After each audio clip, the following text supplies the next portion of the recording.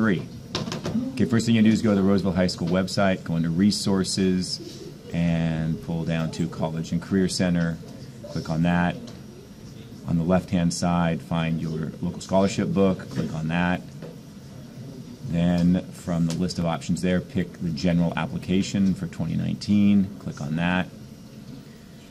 Once that's open, then we're going to download, select the download icon, and we're going to download it to our H drive. So you're looking for your username and the little drive symbol. Click on that. Then I would suggest that you add your last name to the name of the file and save it. It's now located in your H drive.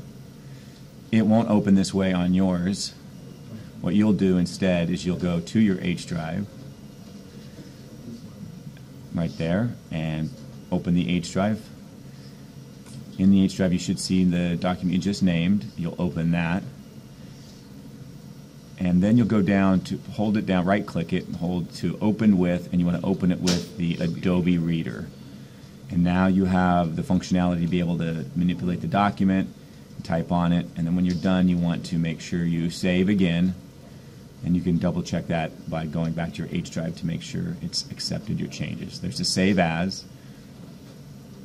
Click on your H drive, make sure it's got the name you want, hit save, and you have it in your H drive.